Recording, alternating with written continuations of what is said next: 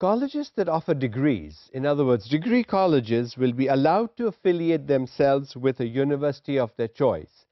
In other words, if you have a degree college in your area, that college has the option of affiliating itself. After all, it has to afford degrees.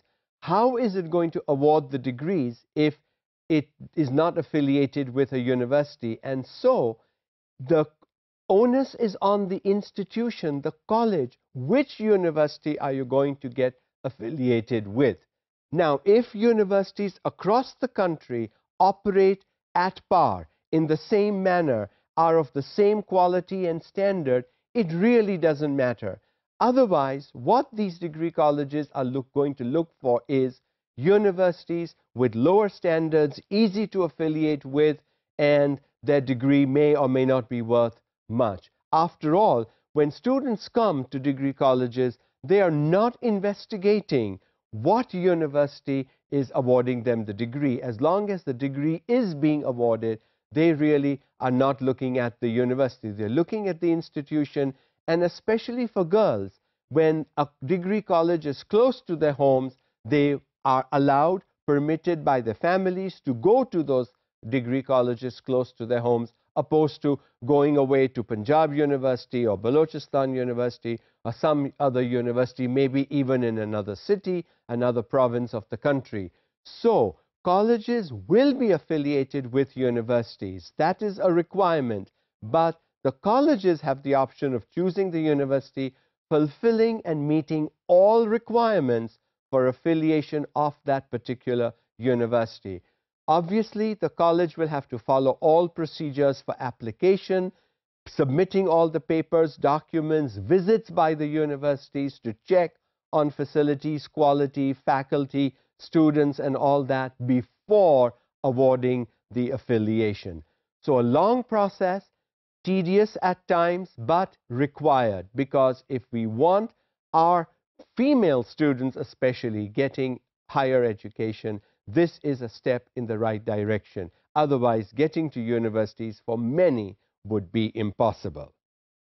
In big institutions, centers for advanced studies and research be established. Again, we see a focus on research from the 92 policy.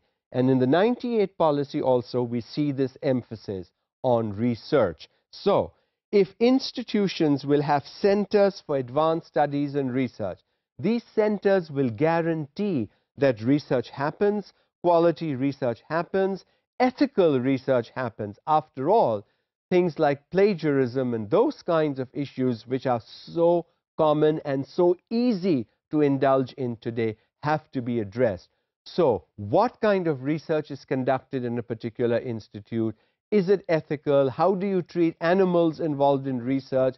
How do you use human beings as subjects for research, and all those kinds of things will need to be addressed before a research can be permitted, allowed, justified on campus. Research is needed. It is key to the survival and life of any university anywhere. And all good universities produce quality research in time, and they are not running a race. It is not a race for quantity. How many papers have you published?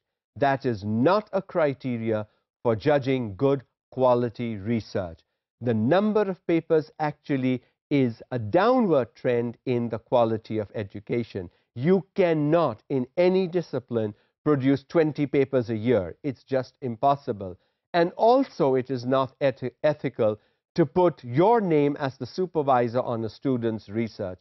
I am paid for supervising the student. That's my job. I am not getting paid to put my name on my student's research paper. So issues like that would need to be addressed by this particular Centers for Advanced Studies and Research at our universities.